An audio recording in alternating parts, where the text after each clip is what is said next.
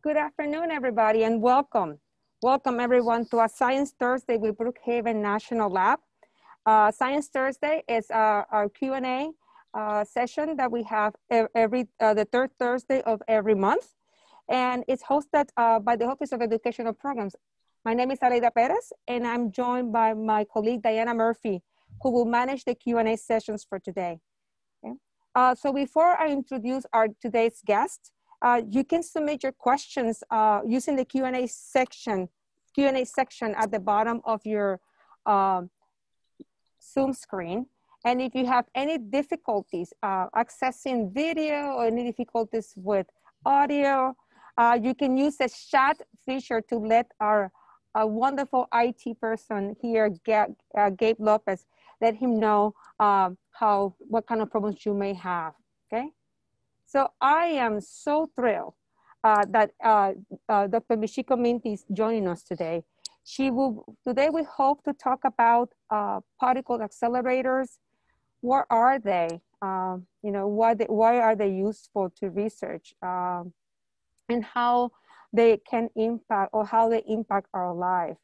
As I said, I'm joined by uh, Dr. Michiko Minty. She's a physicist and the, the deputy head of the accelerator division and head of the accelerator operations at the Collider Accelerator Department here at Brookhaven National Lab uh, in Long Island, New York. Michiko is also an APS fellow and she is an author uh, together with Frank Zimmermann, a leading accelerator physicist at CERN. Uh, they wrote a textbook that is used in, in, in, in, in colleges and schools called Measurement and Control of Charged Particle Beams. Welcome, Michiko. It's a pleasure having you here today. How are you doing? Fine, thank you. Thank you. Oh, it's so great. So I think, you know, to get our conversation started uh, and to get us going, um, can you tell us uh, a little, can you tell us um, in, you know, in, in some ways that we can all understand a simple way, what it is, what is a particle accelerator? What is that? Sure, sure. So particle accelerators are devices that are used to generate beams of charged particles. These can be electrons, protons, or at, at our big accelerator here, uh, heavier ions. And they're used in many applications, uh, such as in basic energy science or in applied science. So the concept of um, high energy particle accelerators is often attributable to Ernest Lawrence, who in the late 1920s built a so-called cyclotron, which is uh, a device that accelerates particles in a circular configuration uh, confined by magnets and acceleration accelerated by application of uh, external radio frequency fields. Since then, particle accelerators come in all shapes and forms. They can be linear or circular. Uh, some people, uh, if they remember the old big clunky TVs, might have known or not that mm-hmm. inside these big TVs, they had a small particle accelerator in the form of a cathode ray tube. Inside there, there was an electron gun and a phosphorescent screen. So when the electrons were deflected onto the screen, uh, the TV image was created. Another example of an accelerator is in the dental x-ray machine, which we're all familiar with.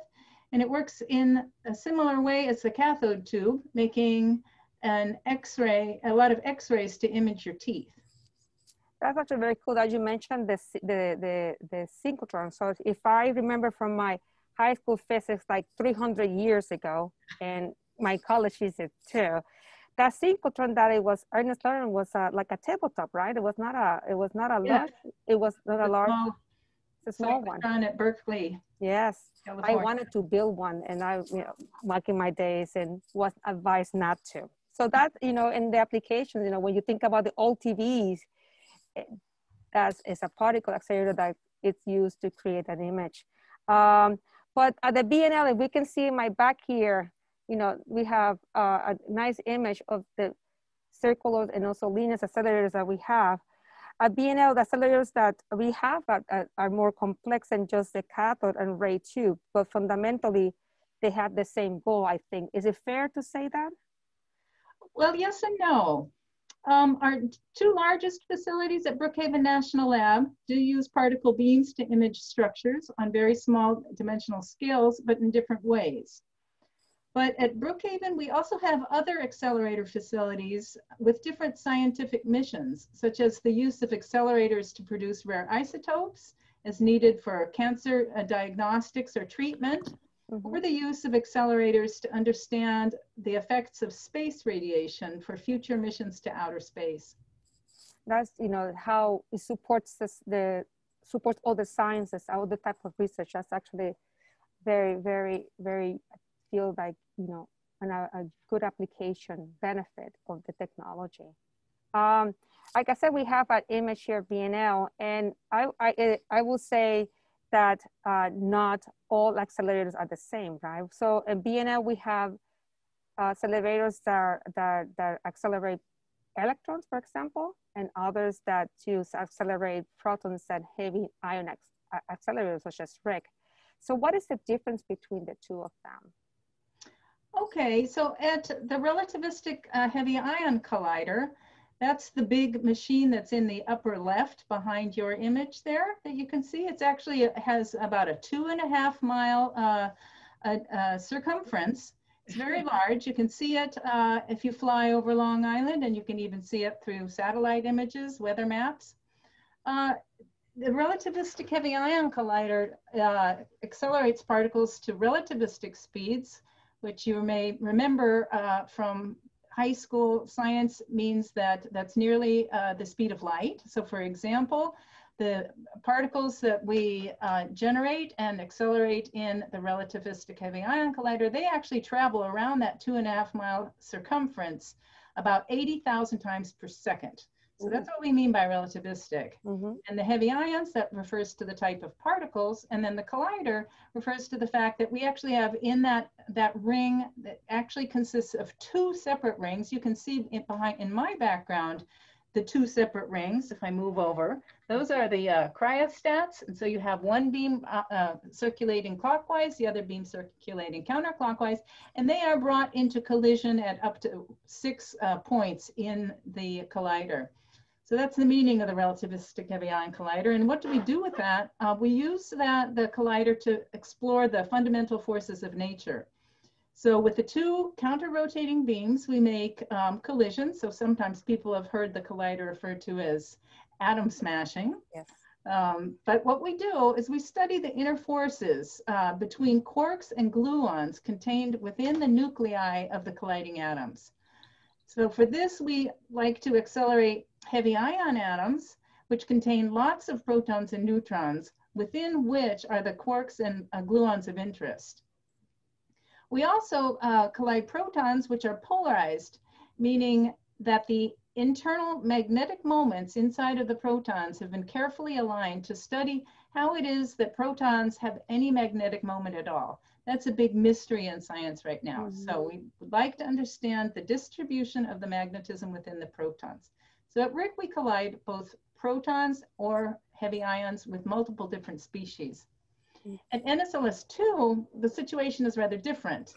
Uh, the NSLS2 stands for National Synchrotron Light Source. It's a second generation for Brookhaven National Lab. That's why it has the two. And that's pictured uh, right behind Aleida there. Uh, it's the big white ring that you see in the image there and uh, it generates light. Uh, so these so-called light sources, of which there are, there are tens of thousands around the world nowadays, uh, scientists use the very focused and coherent light that is emitted by the accelerated electrons. So it's a fact of nature that if you accelerate electrons in a circle, they will emit photons tangential to their trajectory. So it's a very multidisciplinary applications at NSLS2 these days. So in the early days of these light sources, well, it's actually kind of interesting as, as accelerator physics and science pushed to higher energies, it turned out that the radiated light was a hindrance uh, to accelerate electrons using circular accelerators because the energy was radiated away in the form of light. Well, this problem turned out to be very, uh, was, it was turned around and people started using this very intense light in lots of different fields. For example, in the early days, uh, the funding for these kind of, this kind of science came from the auto industry.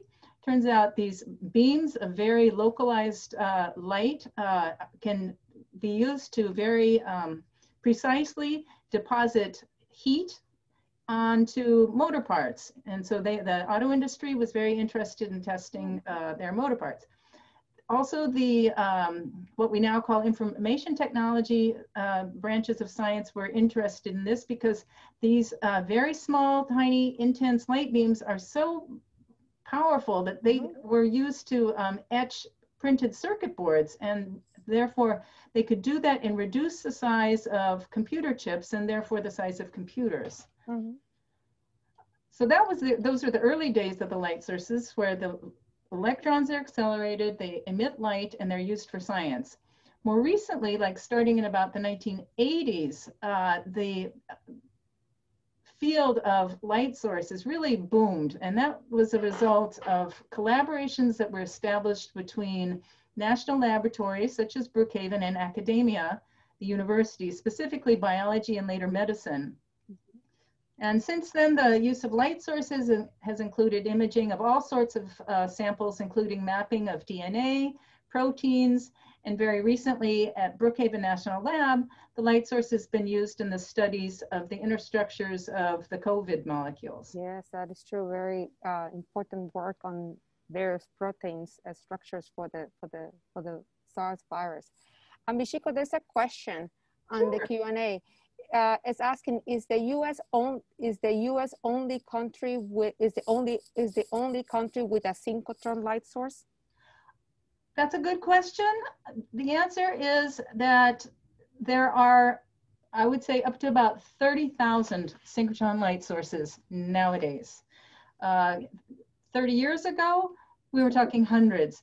But the fact that these accelerators are cost effective and produce such a wealth of science has really allowed this technology to flourish around the world, including in a lot of uh, third world countries, mm -hmm. which I find very interesting, which uh, is, of course, good for their economy and their science um, advancement.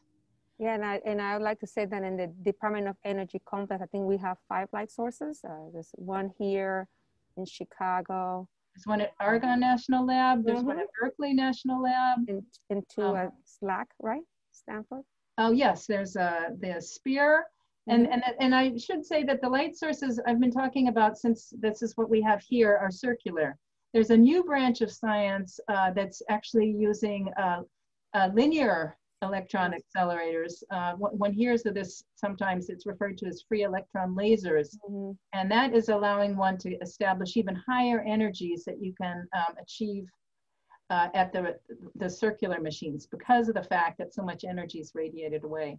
But there was a great question. I want to do add, add one point uh, concerning the collider, the relativistic heavy ion collider. We used to have um, three big high energy facilities in the United States. And um, that one was at Stanford, that was a linear collider. That project ended in the mid 90s. And there was the Tevatron at Fermilab National Laboratory in Batavia, Illinois. And that was a colliding beam facility. And here we have now the relativistic heavy ion collider. And it's uh, the only uh, collider in the United States, in the Americas so far, even, uh, that's presently in operation. And, and um, concerning the polarized protons that we generate and do science with, it's the only polarized uh, beam collider in the world at the moment. Mm -hmm. That is true, and it's, the fact that we have it here at BNL, right? Uh, it, it's even greater. Also, there's another question in the Q&A. Is there research done with the particle accelerators related to energy sustainability? sustainability? Yes, definitely. Uh, so uh, especially at the, uh, the light sources. So the light sources can be used to, um, because, okay, I'll, there's a couple of features that mm -hmm. make the light sources like NSLS2 so interesting. one is that uh, the wavelength of the emitted light is uh, the wavelengths are very short. Mhm. So on the order of um, 10 to 100 or even smaller nanometers. And so that starts to uh, approach the size of atoms. So that means that using these light beams, you can start to resolve the inner structure on those time scales.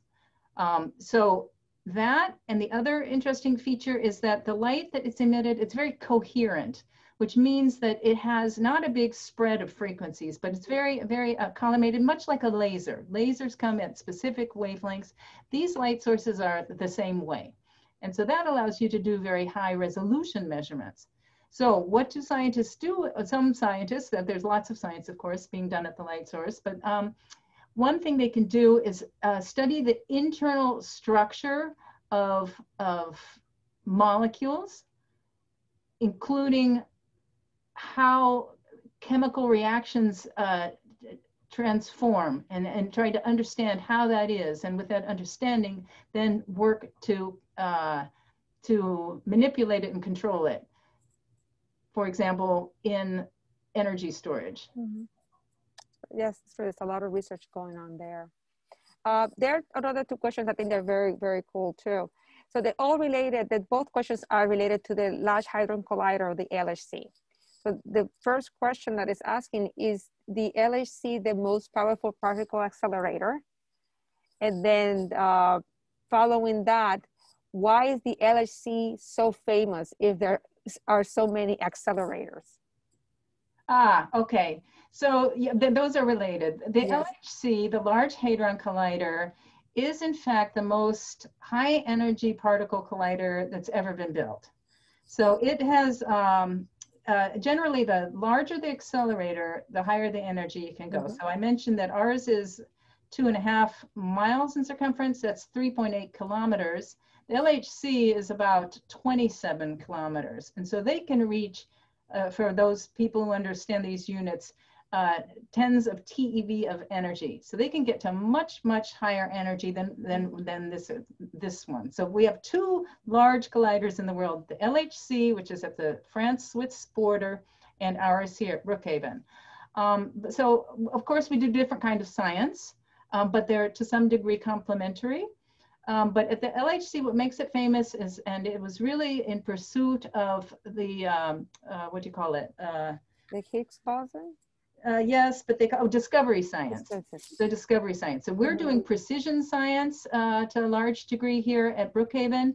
And because of the new reach in the energy frontier that was made possible at the Large Hadron Collider, they can do discovery science, making collisions at energies that nobody has ever done before. And it was designed specifically for that and specifically to look for the creation of what's called uh, the Higgs boson. And that was successfully achieved.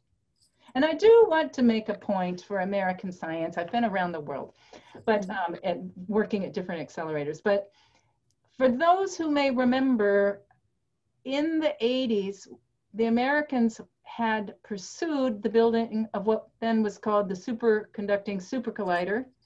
And that was to be built in Waco or Waco, Texas. Mm -hmm. And it is just kills me that we uh, it, it, went so far. They, the tunnel was largely built and all this, and uh, the cost overruns or whatever caused it to um, stop being constructed. But I feel like we could have been doing that science. Yes.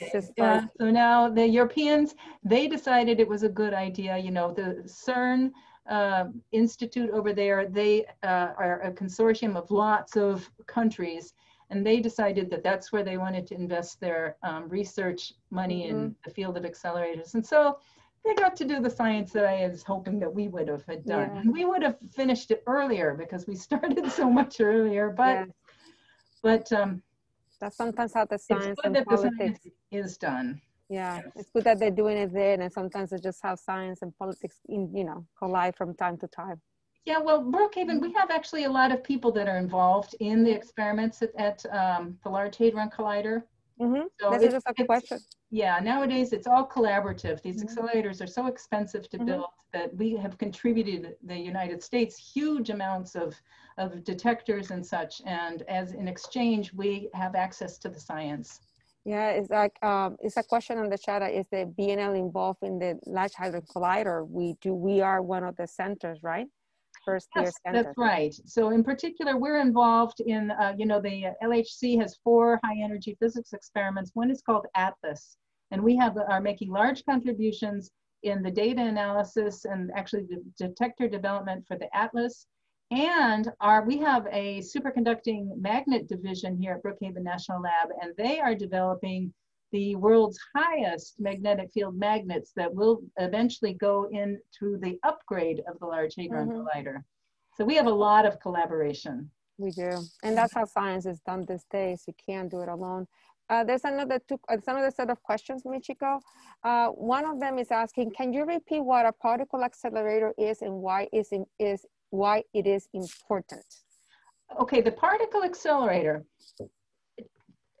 allows you to take elementary particles, be it electrons, protons, or even heavy ions, those are the kind that we accelerate here, and generate very high energies through the use of uh, well, uh, the, there are lots of pieces to uh, an accelerator, but uh, sort of the two, three primary ones I would say are magnets, radio frequency cavities, as we call them. That's what provides the voltage gradient to accelerate, and the vacuum systems uh, in which the particles are going.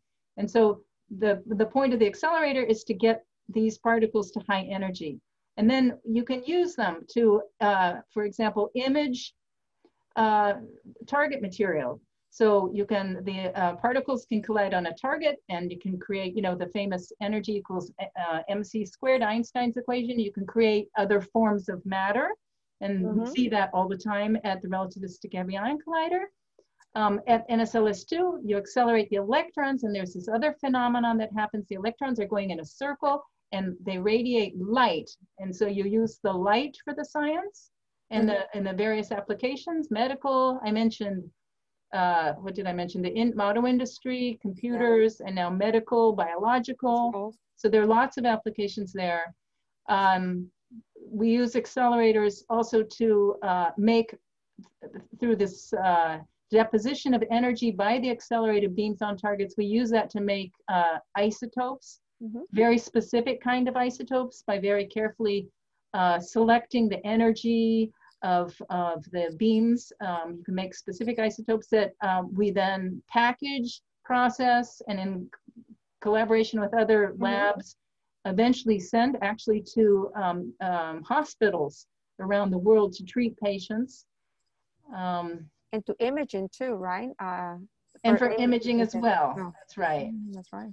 Uh, I didn't mention uh, we have the NASA Space Radiation Laboratory facility, which also uses beams uh, produced by our accelerator injector complex. Mm -hmm. And they are doing interesting uh, studies, uh, for example, taking uh, electronics and then exposing it to the radiation generated by the accelerated particle beams mm -hmm. and understanding what the effect of that is on the electronics that's the same effect that um, you expect to see out in outer space due to naturally occurring cosmic rays.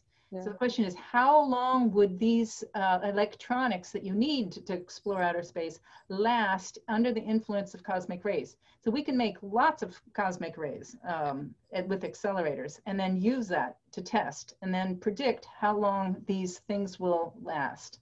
Correct. And also uh, yeah, to take it a step further to understand the effectiveness of, of clothing even for people mm-hmm. who will eventually go to outer space you know does it protect you? And and studies so it's a different research field than mine but um, it's a very interesting one because it's so forward looking yeah it is and, and so uh, our our facility is unique in that way. Uh, there's another set of questions. Uh, Michiko, and i'm going to kind of step out of the, the our usual pattern that we do, like, you know, and I'm gonna, there's a question about you as a scientist, is asking, says, hello, how did. Machine, Minty be, became a scientist? What factors contributed to this decision? And what can one do to accomplish such profession?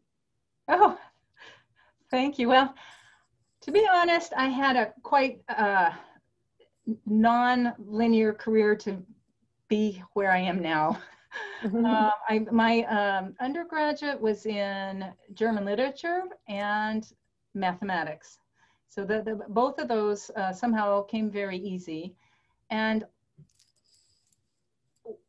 I actually had no exposure to physics until I was um, what's it called, an exchange student. I went to Germany as an exchange student. And in the evenings over dinner, you know, we collected in the dorms and uh, it was quite clear that this one group of people that I really enjoyed being with were just ecstatically discussing physics questions every night. And they were so enthusiastic about it. I went back to the United States after my year, and I actually I took um, science or physics for non-science majors, where you memorize formulas, you apply it, you know, light, uh, prisms, and all this. And I just was fascinated. It's like I want to know how this works, um, and so I then moved on and took the rest of the, you know, started on a physics path. And I was a little bit lucky um, because um, I uh, was fortunate to have some very good professors. Mm-hmm. Um, and uh, there was a, a, a, small cyclotron facility and a professor after after one semester he actually offered me a job he was new and so he was looking for grad uh, students to work with him and I turned him down because I had just started uh, accepted teaching for the math department, but it planted a seed. So a year and a half later, once I finished my math, de math degree and I, my commitments there, I went to the cyclotron and I actually, I don't know anybody who's done this, but I went and talked to all these professors and asked them what they were doing and, um, and said, I want, I want to do something, but instead of looking for a job, I was more like looking for them and finding out what was interesting. So I found something that works, worked, and I ended up uh, working uh, for my entire graduate school career at the cyclotron, and that was good because um, I could do work on my thesis, get tuition reduction, mm-hmm. and um, it was pretty stable. And uh, then there was a little bit of luck. I um, I, I, studied a, a, rare field, which is this polarization that I mentioned at, at, the Relativistic Heavy-Ion Collider. And it turned out at Stanford, they wanted to have polarized beams. So just maybe lucky, good timing, right when I graduated, uh, a very famous professor from Cornell went there, needed somebody with that knowledge. And so I got my foot in the door there as a postdoc, moved on to a staff person, started teaching, um, at the time, and it just went from there. But I, I, will say, by the way, I learned a lot of what I do now um, uh, once I got out in the working field. Mm-hmm. Yeah, that is true. yeah. That is true. That's a wonderful story. Uh, when you and I were talking, I you know I said it's good that they you know not everybody has the same path, right? Everybody has a, a story to tell, a journey to travel, and that that is different for all of us. So you know so just because it, it, it takes, it will take time when you get there. Uh, one, uh, two questions uh, on the chat, and we're gonna go back to some of the science, uh, uh, uh, Michiko. Are elements from particle acceleration used in cancer research? Are elements? Are elements from particles acceleration used in cancer research? I'm guessing that's whatever the, the, the you know, for example, the NASA radiation lab use, you know, accelerated. Yeah. Mm -hmm. Okay, well, th this isn't my particular area of expertise, but this is sort of how I understand it. So we uh, use these beams, impinge them on a target. This is at the isotope production lab, and create new radioactive isotopes.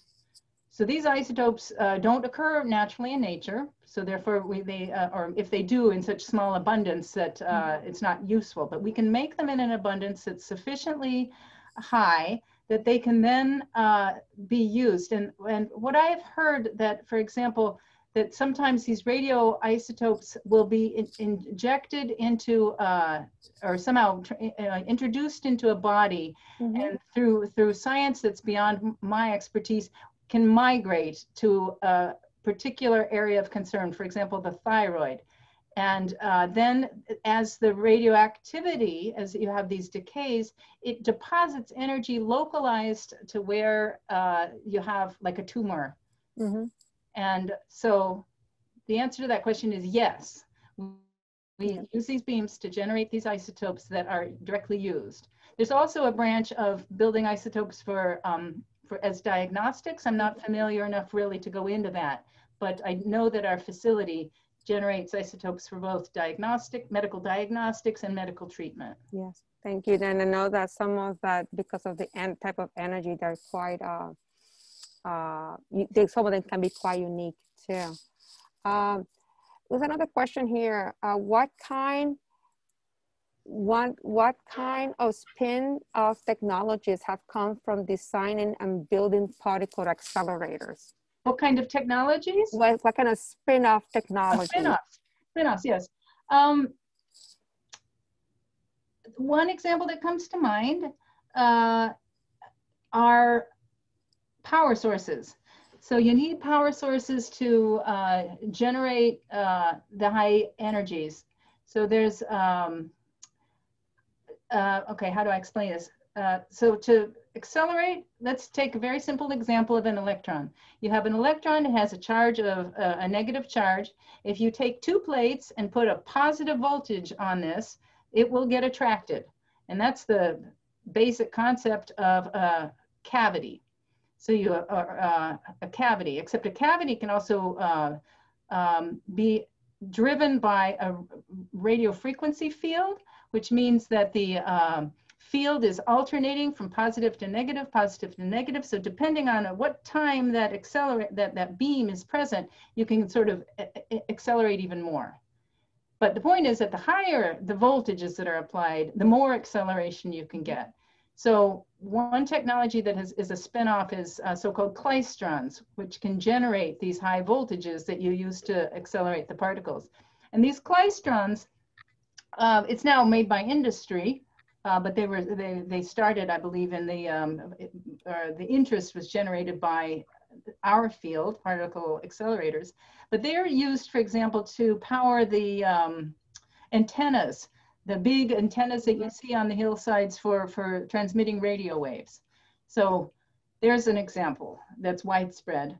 Another example is um, the handling of massive quantities and sending um, massive quantities of data around. So uh, at CERN, they like to claim that they, uh, they do. Uh, they built the, the first ever uh, World Wide Web. Mhm. So it turns out that these colliding beam experiments in particular generate incre- uh, an enormous amount of data. I think at our last time I looked, uh, we have, uh, and for those who are familiar with the units, petabytes of data. And uh, being and, and we actually ship that all over the world to scientists uh, to study. And so those huge quantities of data transfer, the technology that's behind that uh, did in fact lead to uh, so later commercialization and the ability to all uh, um, be online and uh, have the, the World Wide Web and Google and, and all these all Yeah. these um, uh, applications that we now know and love. But you have to think about when did that happen? It was, you know, just in the last, even just 20 years ago, they didn't exist at all. But through the, the like I say, through the um, technology development that went into developing particle accelerators, that spun off and um, has benefited almost, well, Everybody. yeah, almost, I don't want to be Almost so everybody. Almost, I was like yeah, almost. So many of us, the majority Many of us in the United States at least, Mhm. yeah. Yes, almost. That's that. So um, before we kind of pivot to, to your career path and continue that conversation, there's one more question that I want to ask. Uh, can you go into more detail on how particle accelerators are used in COVID research? I, let me know if um, in COVID research that has to do with the light source. I, the, yeah, research is really so new uh, th- that I can't say much about it, but I can talk about it maybe in generalities. Um, but it may be too general even. Well, I think it's, you know, they, they, they have used uh, the light source, um, you know, the x-rays to do structure, right? Find out the structures on, on, on the proteins related to the virus. And also, you know, that you know the structure, you can figure out what kind of chemical, uh, what, what kind of small molecule, what kind of you know, exactly. you can use to either block the virus from infecting cells or you can block the virus from, you know, continuing its life cycle inside the cell and make it more of itself. So I think the those are some of the things that that that have come out of in recent research when you think about things like accelerators like the light source, for example. Mhm. For example. Um, so I know uh, we're at about 4:35 time. So I want to go back to to to your your path. So we, we you you you mentioned that you did your your um you you talk about your your undergraduate and your graduate or your graduate work and and so forth. So if if if you have for the high school students that, that are listening to us today, or college students, or any student for that matter, uh, what kind of preparation you, you, you, you recommend that they have before applying to research programs? What kind of, uh, should they do internships? What kind of, what kind of uh, courses should they be taking if they want to pursue a STEM career, for example?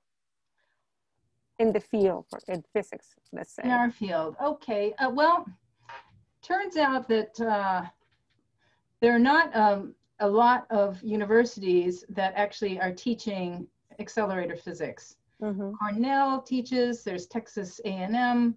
There are two uh, master's degree programs that are affiliated with, with what's called the United States Particle Accelerator School. And that's a school that uh, is offered twice a year for two weeks at a time.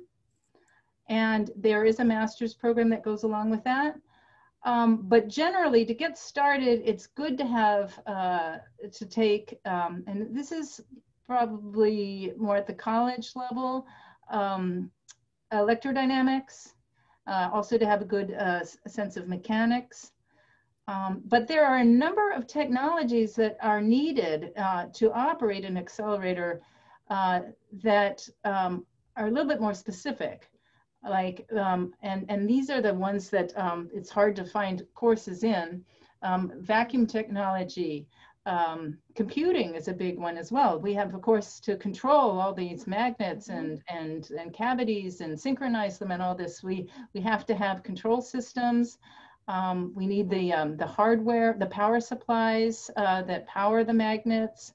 Uh, so there are a lot of, a lot of um, different technologies that go together. Um, magnet design is a big one. At the relativistic heavy ion collider, I failed to mention this, but um, we op these are two superconducting um, rings, meaning that uh, the magnets, of which there are about 1,800, they're operating at superconducting uh, at, at low, very, very, very low temperatures.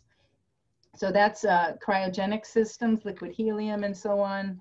Um, there's also a, a, huge amount of uh, beam diagnostics. So how, how do you uh, control the properties of the beams? Um, Mm. So you need to, to have a good understanding of electrical engineering uh, for that. Actually, electrical engineering is uh, pervasive throughout accelerators in the power supplies, but also um, in the, uh, in the um, detectors um, to detect the properties of the beam, the position, you know, the loss, the current, how much current you have, how much charge you have. Yeah. Um, So you're looking at various levels, not just, you know, there are, there's a role for engineers, for technicians, Yes. for scientists at any kind of level of edu- Absolutely. education.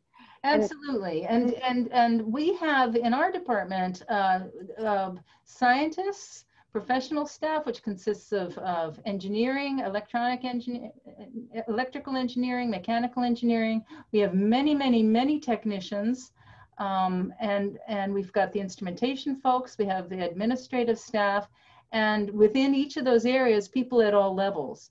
And I'd hasten to add that, that Brookhaven National Lab, if, if you don't know, offers various programs uh, already starting at the high school student level, Mhm. but also internship programs. And I believe that information is all uh, accessible by the public on the web. So if you're interested in these things, you should certainly take a look at that. And, uh, you know, hopefully uh, you can apply. I believe it's rather competitive, but, um, but maybe you have uh, a science that you'd like to pursue.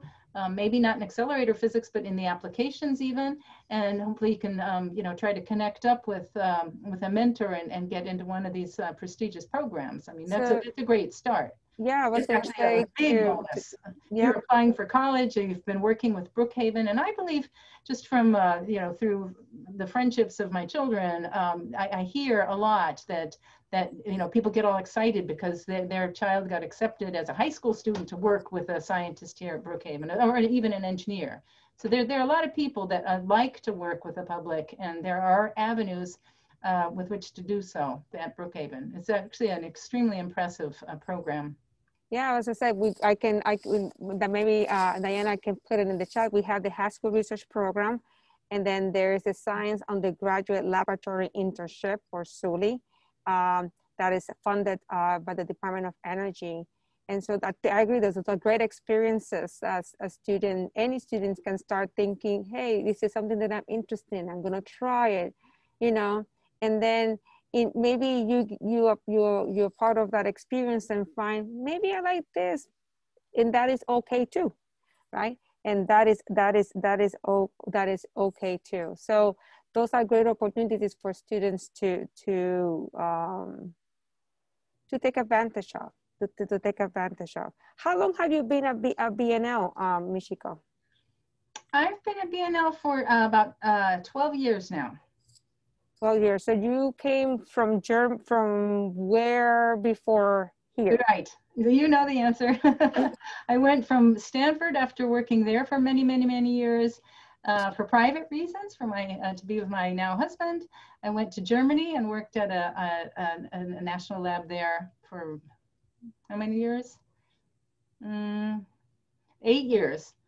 But I took three years maternity leave. So I actually worked only for five years to Mhm. maternity leave. And then he actually came and did the uh, technical design for this national synchrotron light source. And so I was lucky to come and also get a job on the other side of the campus working with the ions. So he did the electrons, I did the ions, and now maybe people in the audience know we're going to merge the two and build, uh, we just got a, um, did a groundbreaking ceremony recently over the summer uh, for the future uh, latest, greatest uh, research instrument um, called the electron ion collider. Collider. So Mhm. we're going to merge and have one ring full of electrons, the other ring full of either protons or heavy ions, and we'll do research. And that will take us well into for the at least another 25 to 30 years worth of, of science.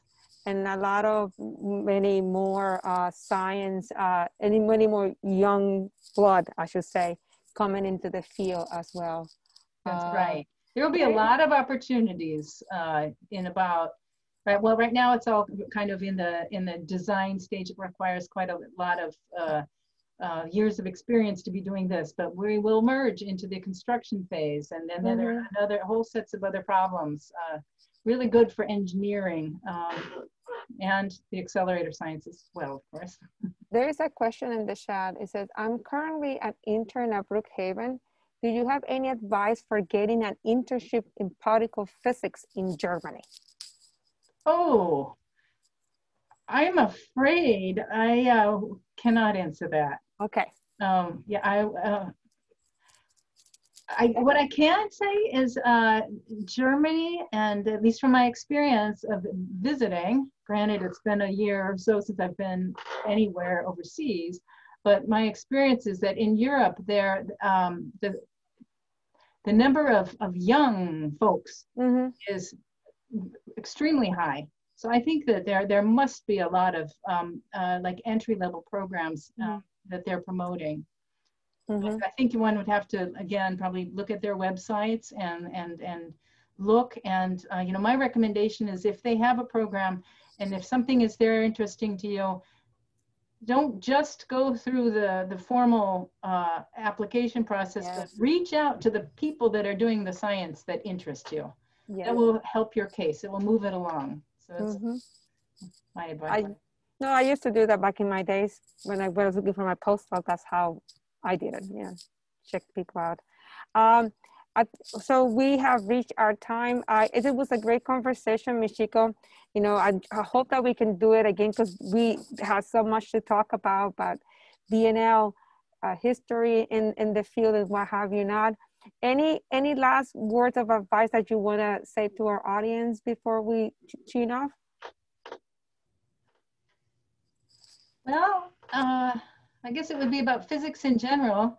Uh, to just keep an open mind and you know when you see something and don't understand how it works hopefully that sparks your interest and you say i want to know how that works and you just dive in and research until you find uh, find the answers and you know work with others along the way to get there and it's very rewarding Michiko, I'm sorry, I just missed one question, one question before we go. Will Columbia University contribute to a field like this? Pardon? Would Columbia University? Columbia, yes, yes. Um, I couldn't name all the uh, the uh, uh, universities that are affiliated with Brookhaven National Lab, but there are a number of universities, and Columbia is one of them. Thank you, Michiko. Yeah, so in our in our very high level management boards, we've got representatives from Columbia, Yale, and others. I couldn't mention them all right now. Thank you. I just didn't want to leave without answering that question to our listener. Thank you, Michiko, for joining us today. So that's the time we have. Again, I would like to say thank you to Michiko. We appreciate uh, what you know you're sharing your your life experience, the, on the, the knowledge, the science of accelerators and the insights of, of the field. Our next Science Thursday is December 17 um, at 4 o'clock. Uh, we'd like to thank Brookhaven National Laboratory for hosting this event today and encourage you to check our programs, uh, research and internship opportunities and available virtual content at the websites that have been uh, listed or shown in the chat section. And also remember, you can always follow us on social media. Please stay safe. Please wear your mask and have a, a great holiday time. Thank you. Thank you. Thank you. Bye.